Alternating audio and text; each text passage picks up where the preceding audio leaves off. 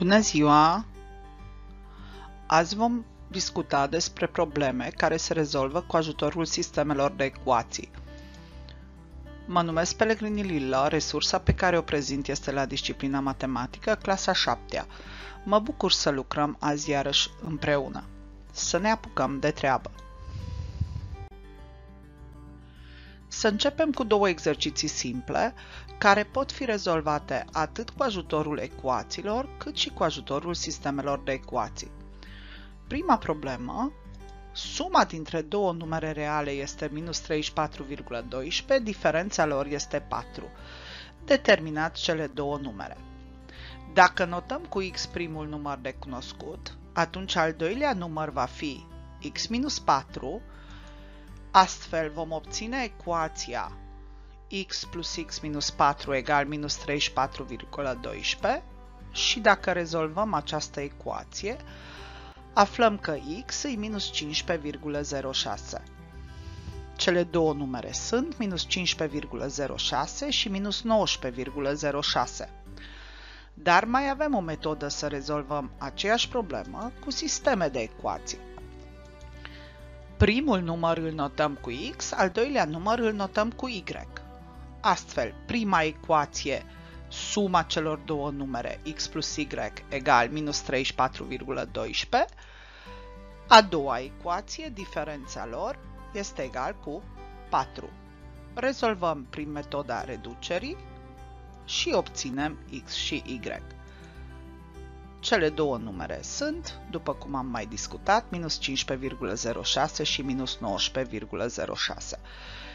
Aici vedeți sistemul pe care l-am rezolvat. A doua problemă este la fel de simplă.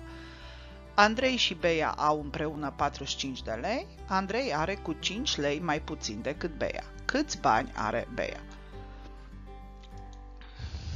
Dacă rezolvăm cu ecuații, atunci dacă Bea are x lei, Andrei are x minus 5 lei, împreună cei doi copii au 45 de lei, rezolvăm această ecuație și obținem că x egal 25.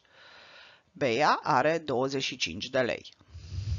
Dacă rezolvăm cu ajutorul sistemelor, notăm suma de bani pe care o are Andrei cu Y și atunci obținem cele două ecuații, x plus y 45 și y egal x minus 5. Rezolvăm acest sistem și desigur obținem aceeași soluție. Să ne aducem aminte care sunt etapele rezolvării unei probleme. Prima etapă este să identificăm datele, atât cele cunoscute cât și cele necunoscute din enuț. După ce am identificat datele, notăm, stabilim și notăm necunoscutele, respectiv exprimăm relațiile dintre datele cunoscute și cele necunoscute. În următoarea etapă, scriem sistemul de ecuații sau scriem ecuația. În următoarea etapă, desigur, rezolvăm sistemul de ecuații. După ce am rezolvat sistemul de ecuații, interpretăm soluțiile și formulăm răspunsul și să nu uităm să verificăm soluțiile obținute. Să vedem acum aceste etape pe un exemplu concret. Fie această problemă, în clasa 7 sunt 30 de elevi, numărul fetelor este cu 2 mai mare decât al băieților. Câte fete și câți băieți sunt în această clasă?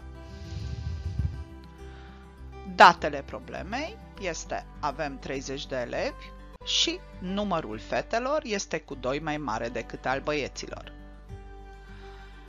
Necunoscutele Evident, notăm cu F numărul fetelor și cu B numărul băieților și avem două relații. Totalul de elevi, că e 30, și diferența este 2. Dacă scriem cele două ecuații, obținem fete plus băieți egal 30 și fete egal băieți plus 2. Dacă rezolvăm acest sistem de ecuații cu metoda substituției, obținem că avem 14 băieți și 16 fete. Adică în clasa 7 -a sunt 16 fete și 14 băieți și dacă verificăm aceste soluții, într-adevăr 16 plus 14 de dă 30 și 16 minus 14 este 2. Să vedem acum alte probleme care tot așa încercăm să le rezolvăm cu sistemele de ecuații.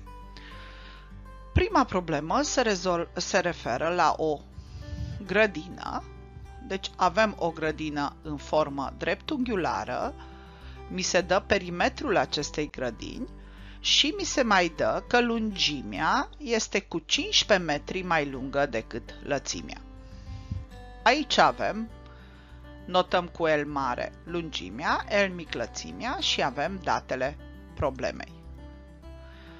Sistemul de, de la perimetru obținem că lungimea plus lățimea este 115 și astfel am obținut acest sistem de ecuații pe care, dacă îl rezolvăm cu metoda substituției, obținem că lățimea e 50 de metri și lungimea este 65 de metri.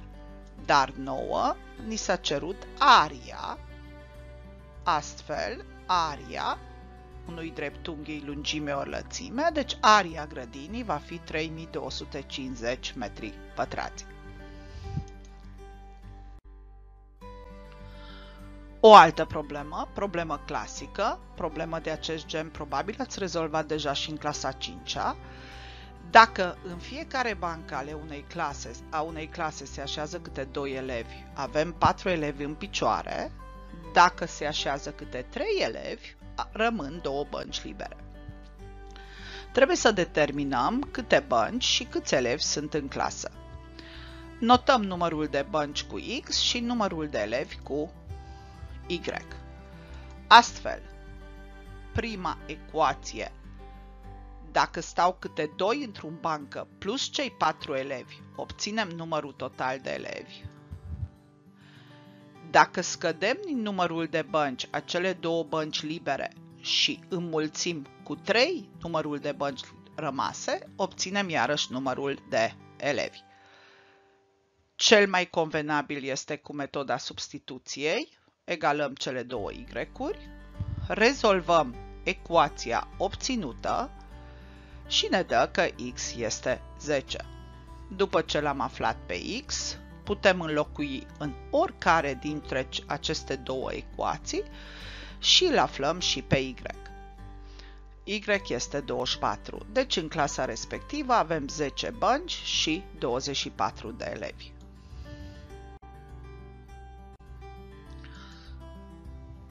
O problemă cu un număr de două cifre, suma cifrelor a unui număr de două cifre este 9, răsturnatul numărului este cu 27 mai mare decât triplul numărului dat.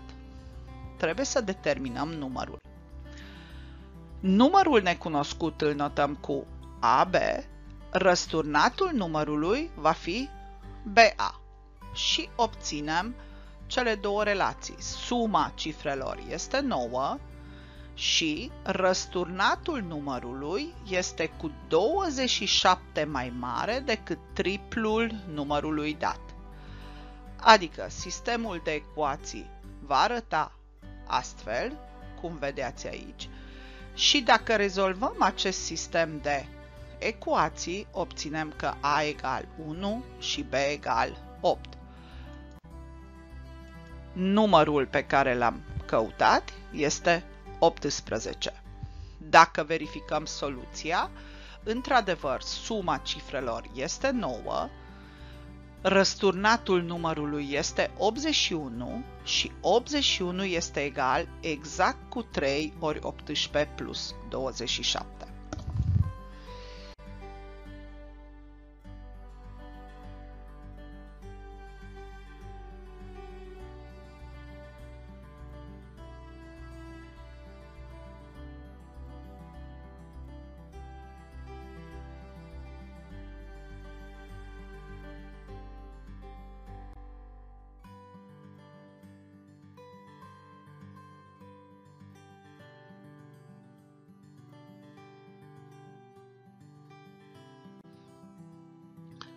Să mergem acum la un concurs de biciclete, așa cum a făcut și Maria și Andrei.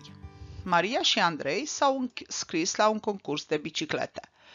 Andrei a mers cu viteza de 15 km pe oră, Maria a avut viteza de 12 km pe oră. Deși Maria a trecut cu 30 de minute mai devreme prin punctul de control A decât Andrei, amândoi au ajuns în același timp în punctul de control B. Trebuie să calculăm distanța dintre cele două puncte de control. Dacă notăm cu D distanța dintre punctele de control A și B și cu T notăm timpul în care a parcurs Andrei distanța dintre cele două puncte de control, atunci obținem două ecuații. Prima ecuație se referă la Andrei, distanță egal viteză ori timp. A doua ecuație se referă la Maria. Maria a fost cu jumătate de oră mai mult, cu 30 de minute mai mult pe drum. Cea mai simplă metodă de a rezolva această ecuație iarăși este cu metoda substituției, egalăm cele două distanțe și dacă rezolvăm această ecuație ne dă că t egal 2 și distanța este 30. Adică distanța dintre cele două puncte de control este 30 de kilometri.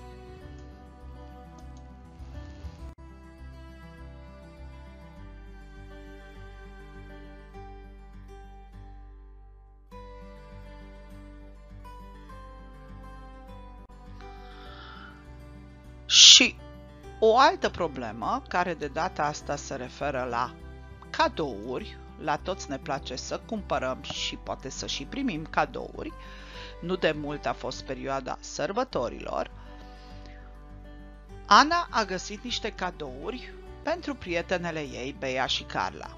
Împreună, cele două cadouri erau 120 de lei, dar din păcate Ana n-a avut suficienți bani la ea ca să le plătească. S-a întors la magazin săptămâna viitoare, săptămâna următoare, s-a dus exact cu 120 de lei ca să cumpere cele două cadouri. Dar a avut o surpriză la magazin și anume prețul cadoului pentru Bea s-a scumpit cu 20%, cadoul pentru Carla s-a ieftinit cu 10%. Norocul Anei a fost că ea totuși a putut plăti ambele cadouri, a și rămas cu 6 lei. Cât a plătit Ana pentru fiecare dintre cele două cadouri? Dacă notăm cu X prețul inițial al cadoului lui Bea și cu Y prețul inițial al cadoului Carlei, atunci prima ecuație este evidentă.